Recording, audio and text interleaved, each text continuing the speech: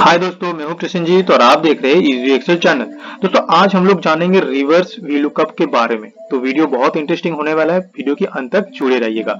जी हाँ दोस्तों, अगर आप लोगों को वीलुकअप फ़ंक्शन आता है तो ये तो पता ही होगा कि वीलुकअप हमेशा राइट साइड या फिर दाएँ तरफ़ की डेटा को ही उठा सकते हैं। ये बाएँ तरफ़ या फिर लेफ़्ट साइड की डेटा नहीं उठा सकते, क्योंकि वीलुकअप हमेशा लेफ़्ट टू राइट ही रन कर सकता है। ये राइट टू लेफ़्ट रन नहीं कर सकता है, ठीक है?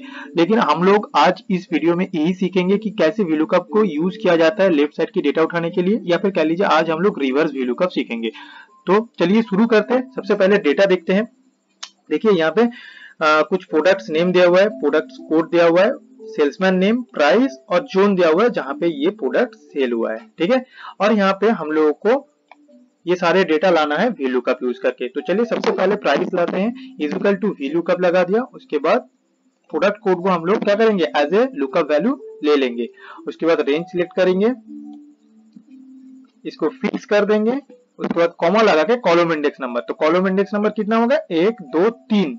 ठीक है? क्योंकि हम लोग प्राइस उठा रहे हैं तो प्राइस हम लोग के रेंज में तीन नंबर कॉलम में है। तो हम लोग यहाँ पे तीन डालेंगे, उसके बाद कॉमा लगा के ज़ीरो फॉर एग्जैक्ट मैच ठीक है? अब इसको एंटर दबा देंगे तो देखिए हम लोग को प्राइस मिल गया। तो दोस्तों, ये तो था नॉर्मल वैल्यू का। ठीक है? तो ये तो बहुत आसान था। ठीक है? लेकिन अगर मान लीजिए अभी हम लोग को प्रोडक्ट नेम लाना है तो देखिए डेटा पे प्रोडक्ट कोड की मतलब लुकअप वैल्यू की लेफ़्ट साइड में हम लोग के डेटा है, जहाँ से हम लोग को डेटा उठाना है। मतलब प्रोडक्ट कोड की लेफ़्ट साइड में प्रोडक्ट नेम है। तो अभी यहाँ पे प्रोडक्ट कोड के अनुसार आप प्रोडक्ट नेम कैसे लाओगे वी लुकअप लगा के? तो ये वी लुकअप लगा के नॉर्मल वी लुकअप लगा के नहीं आएगा। यहाँ पे हम लोग को रिवर्स वी लुकअप यूज़ करना होगा। तो चलिए देखते हैं। इजिकल टू वी लुकअप लगाएँगे, उसके बाद ब्रैकेट स्टार्ट करके लुकअप वैल्यू लेंगे। ठीक है? उसके बाद कॉमा लगाएँगे। और उसके बाद हम लोग यहाँ पे जैसे नॉर्मल वीलुकअप में टेबल एरे या फिर रेंज चूज़ करते हैं, यहाँ पे वैसे ही नॉर्मल रेंज या फिर टेबल आ रहे नहीं चूज़ करेंगे। उसके बदले हम लोग एक और फ़ंक्शन यूज़ करेंगे जो कि है चूज़ फ़ंक्शन ठीक है? चूज़ फ़ंक्शन मैंने यहाँ पे लगा दिया, उसके बाद फ़र्स्ट ब्रैकेट या फिर पैरेंथेसिस इसको कहते हैं, लगा दिया मैंने, इसके बाद ब्रेसिस या फिर कह लीजिए सेकेंड ब्रैकेट ठीक है? उसके बाद एक कॉमा देके दो अभी सेकेंड ब्रैकेट या फिर बेसिस को हम क्लोज करेंगे। तो दोस्तों, ये जो एक और दो हमने डाले, ये क्या है? ये बेसिकली जितने रेंज लेके हम लोग काम कर रहे हैं, या फिर मान लीजिए फ़ंक्शन में जितना रेंज हम लोग डालेंगे, बस उसका काउंट यहाँ पे दिया हुआ है। एक, दो, अगर तीन रेंज डालेंगे तो एक, दो, तीन, अगर चार रेंज डालेंगे तो एक, दो, तीन, चार। ठीक है? तो चलिए अभी रेंज सिलेक्ट करते तो सबसे पहला रेंज जो होगा, वो होगा लुकअप वैल्यू का रेंज मतलब ये लुकअप वैल्यू जिस रेंज में है डेटा में, वो होगा एक नंबर रेंज ठीक है दोस्तों? और ये मैंडेटरी रूल्स है, ठीक है? इस फ़ंक्शन के लिए हमेशा लुकअप वैल्यू का रेंज एक नंबर रेंज होना चाहिए, ठीक है? उसके बाद कॉमा देंगे। उसके बाद सेकेंड रेंज क्या होगा? जहाँ से हम लोग डेटा उठाया मतलब हम लोगों को प्रोडक्ट नेम चाहिए प्रोडक्ट नेम कहाँ है? इस रेंज में तो ये हो गया हम लोगों का सेकेंड रेंज इसको भी फिक्स कर देंगे। उसके बाद ये खत्म मतलब यहाँ तक चूज़ फ़ंक्शन खत्म हो गया। इसके बाद हम लोग वापस वैल्यू का फ़ंक्शन में आ गए। यहाँ पे कॉमा डालेंगे। अभी नॉर्मल वैल्यू का में क्या डालना होता है? कॉलम इंडेक्स नंबर तो यहाँ पे हम लोग कॉलम इंडेक्स नंबर नहीं डालेंगे। उसकी जगह पे हम लोग डालेंगे टेबल रेंज नंबर मतलब यहाँ पे जो हम लोग रेंज सिलेक्ट किए हैं, उस रेंज में से हम लोग कौन से रेंज में से डेटा उठा रहे हैं? सेकेंड रेंज से ठीक है? क्योंकि हम लोग का सेकेंड रेंज प्रोडक्ट नेम है तो हम लोग सेकेंड रेंज में से डेटा उठाएँगे। तो इसलिए हम लोग यहाँ पे दो दो लगा देंगे, क्योंकि ये दो नंबर रेंज था, ठीक है? दो लगा दिया, उसके बाद कॉमा लगा के ज़ीरो फॉर एक्सेक्ट मैच बस हो गया हम लोग का रिवर्स वैल्यू का अभी ब्रैकेट क्लोज करेंगे। ये जो ब्रैकेट हम लोग क्लोज किए, ये हो गया वैल्यू कप का ब्रैकेट ठीक है? हो गया। उसके बाद एंटर दबा दिया तो देखिए सुगर च्यू यहाँ पे आ गया।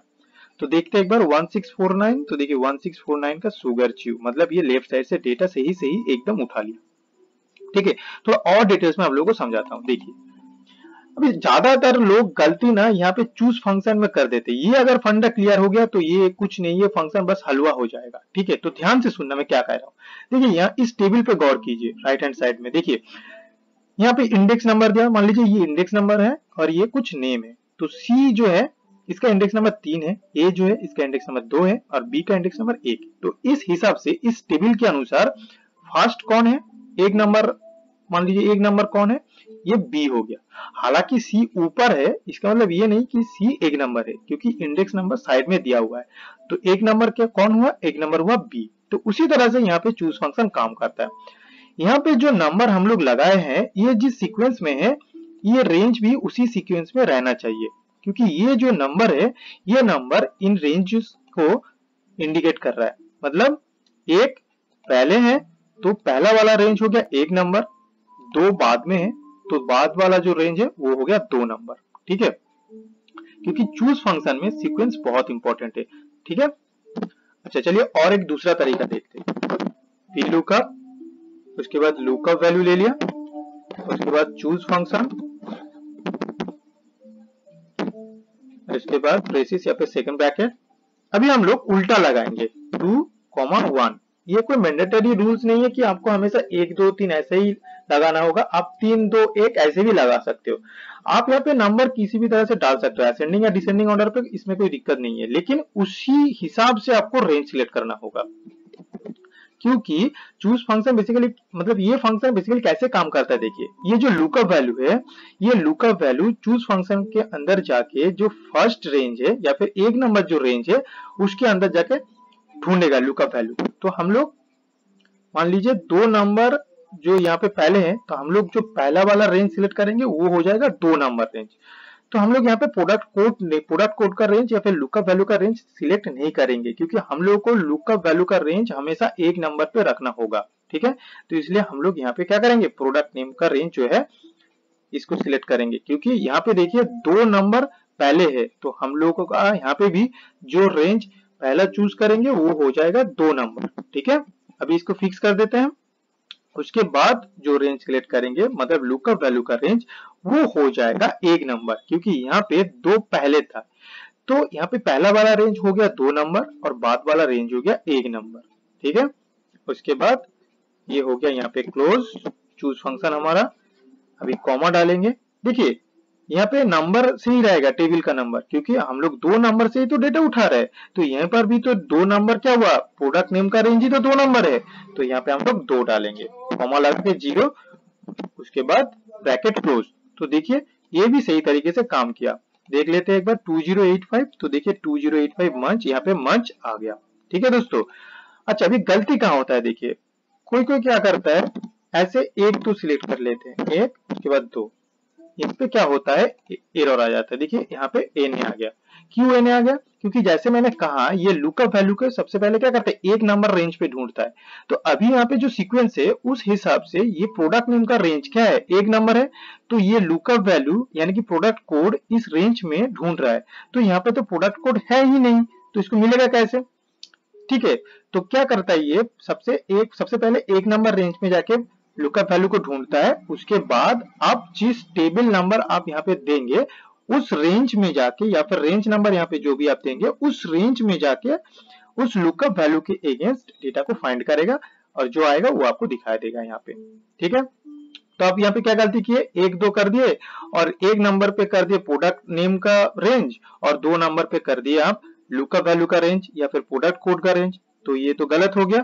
तो इस, यहाँ पे क्या कर सकते हैं आप? आप एक तो कर सकते हो, इस रेंज को आप पीछे ले जा सकते हो। ठीक है? इससे क्या होगा? इससे क्या होगा कि आपका पहला वाला जो रेंज था मतलब जो लुकअप वैल्यू का जो रेंज है, वो एक नंबर हो गया।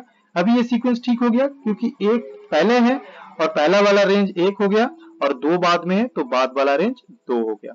ठीक है? अगर आप दो एक करते तो क्या होता? तो सबसे पहले यहाँ पे रेंज सिलेक्ट करना होता है ये प्रोडक्ट नेम ठीक है, जैसे मैंने यहाँ पे दिखाया। तो चलिए और एक बार दिखा देता आप लोगों को। मान लीजिए मैं यहाँ पे क्या किया?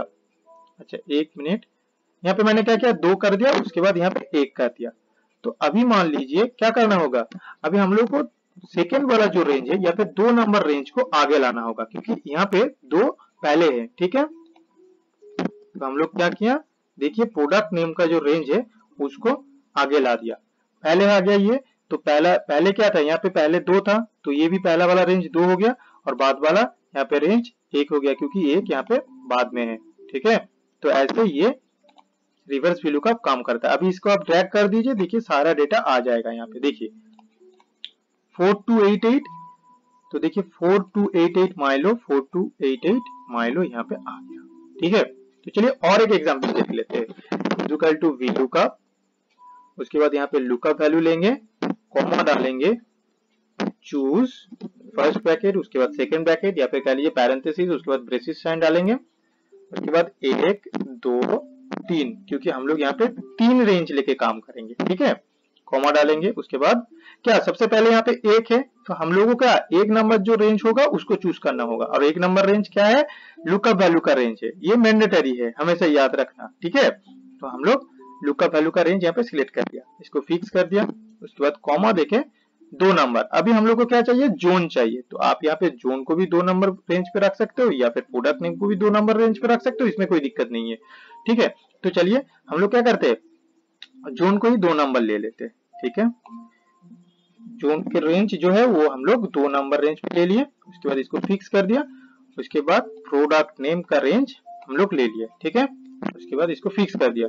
अब ये खत्म चूज़ फ़ंक्शन यहाँ पे तो ब्रैकेट क्लोज कर दिया। ये जो ब्रैकेट क्लोज हुआ, ये चूज़ फ़ंक्शन का ब्रैकेट क्लोज हुआ, ठीक है? उसके बाद कॉमा डालेंगे। अभी देखिए, जोन हमारे यहाँ पे चूज़ फ़ंक्शन में कौन, कितने नंबर रेंज में था?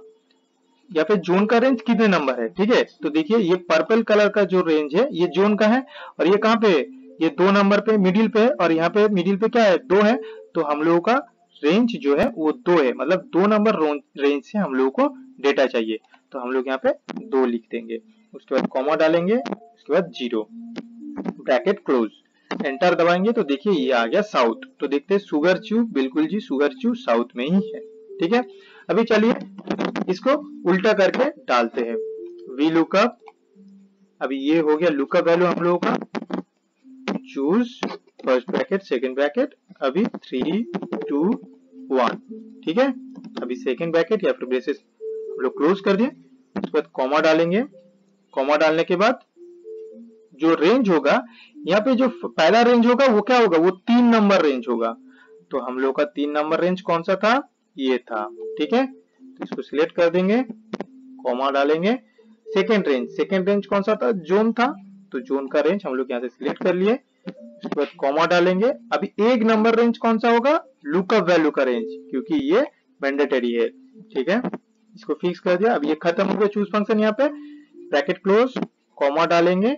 कॉमा डाल के हम लोग को कितने नंबर रेंज से डेटा चाहिए? हम लोग को दो नंबर रेंज ठीक है? तो देखिए, यहाँ पे भी जोन जो है जोन का रेंज दो नंबर ही है। तो हम लोग यहाँ पे दो कर देंगे। कॉमा लगा पे ज़ीरो फॉर एग्जैक्ट मैच अभी ब्रैकेट क्लोज कर देंगे एंटर तो देखिए, यहाँ पे वेस्ट आ गया अभी देख लेते हैं, मंच के जोन क्या था?